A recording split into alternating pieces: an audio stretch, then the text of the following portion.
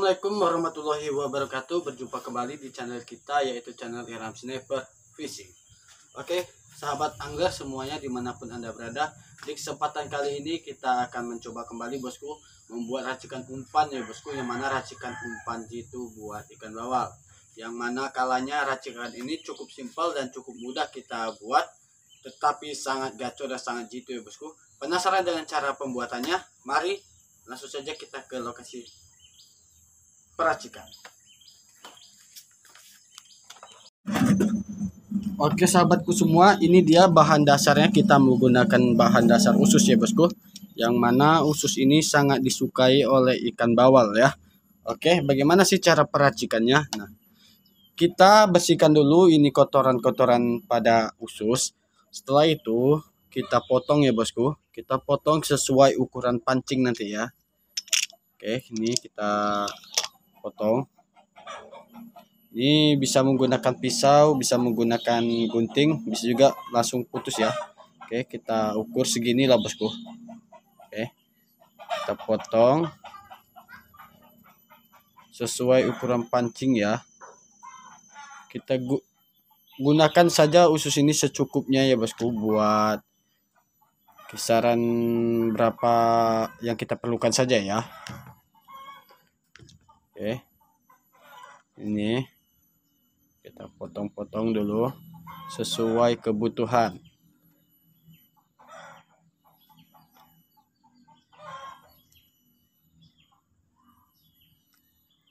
oke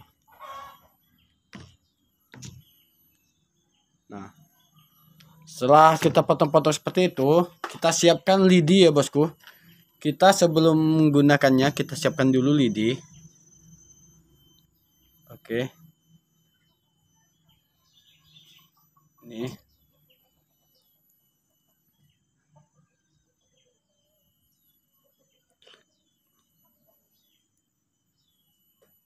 Karena ini nanti akan kita bakar dahulu setelah kita bakar baru kita proses peracikan kita gunakan untuk ukurannya sesuai selera ya sesuai ukuran mata pancing para sahabatku semua ya. Ini oke ini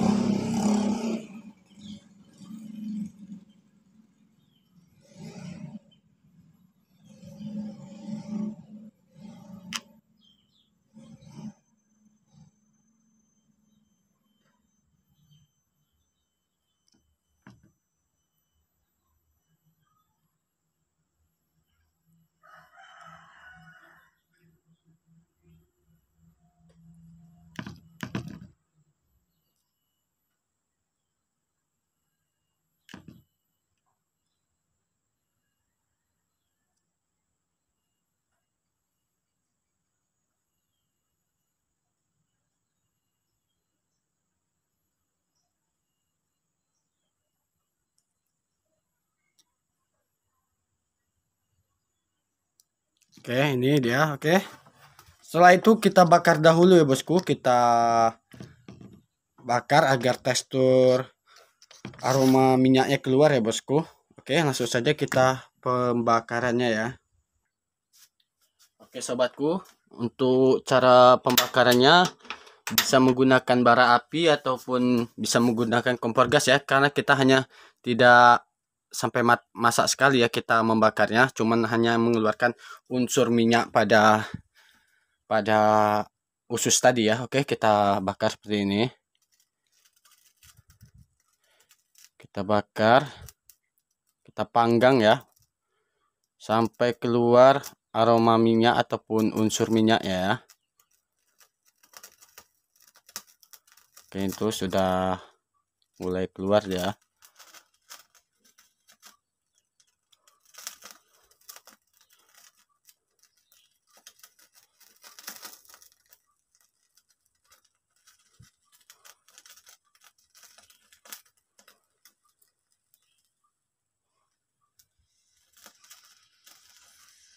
Oke para sahabatku. Nah sudah seperti ini ya bosku. Sudah keluar unsur minyaknya. Nah setelah itu baru kita siapkan bahan bahannya lagi ya. Oke. Kini ini sudah selesai nih. Oke langsung kita ke menyiapkan bahan apa sih yang sebagai pelengkapnya. Nah oke sahabatku ini dia. Kita siapkan dulu sebuah se, sebuah telur ya bosku yang mana telur ini sebagai pelengkap dalam racikan ini ya. Kita aduk dulu.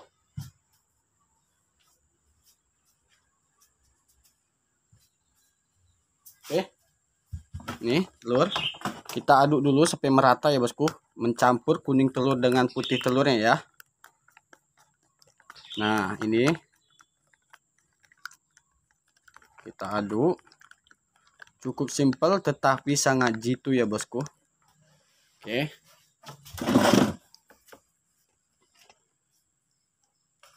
Oke, kita siapkan tadi. Ini dia yang sudah kita bakar tadi. Kita masukkan, kita campur kepada kuning telur ataupun adukan telur ya bosku. Ini bukan kuning telur ya, tapi putih dan kuningnya kita gunakan ya. Nah, kita campur seperti ini. Setelah itu kita aduk kembali bosku kita aduk agar mencampur antara us usus tadi sama kuning telurnya. Nah setelah itu racikan siap dipakai dan siap diturunkan ke kolam pemancingannya bosku. Oke mungkin cukup sampai di sini. Para sahabatku sudah dimengerti bisa dipahami. Nah kali ini langsung saja cara pemakaiannya ya bosku. Oke ini kita siapkan mata kail. Cara pemakainya seperti ini bosku. Kita ambil tadi. Nih.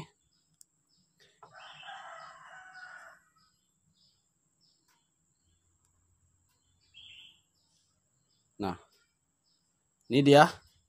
Racikan setelah selesai dan siap diturunkan ke kolam galatama maupun kolam harian ikan bawal bosku. Nah untuk hasilnya